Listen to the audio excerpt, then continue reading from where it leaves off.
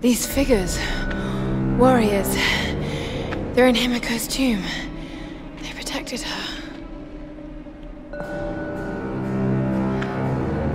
And is this you? Were you some kind of general?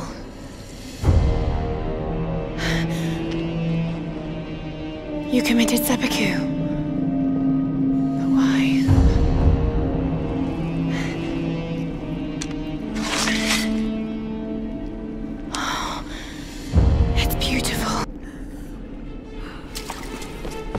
She's in the old tomb. Shit! I've got to...